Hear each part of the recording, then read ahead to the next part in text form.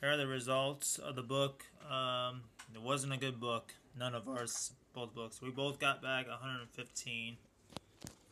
And these are only the winners. I had 11 winners, but I was showing, and this is her. She had more than I did. She had 15, but still didn't turn out very good.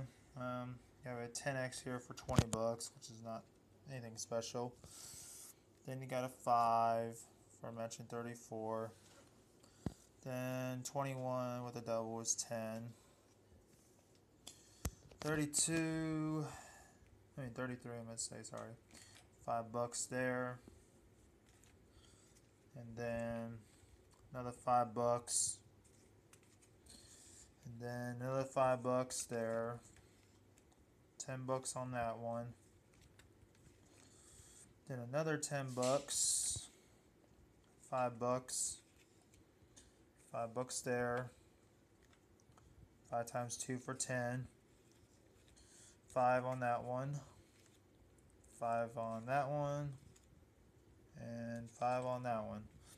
And then, oh, I forgot this one. And 10 on that one. Then my book, of course. 5.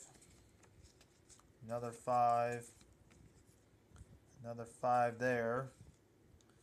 $20 winner there. And five times two, 10. Double there, $10. Five times two, $10.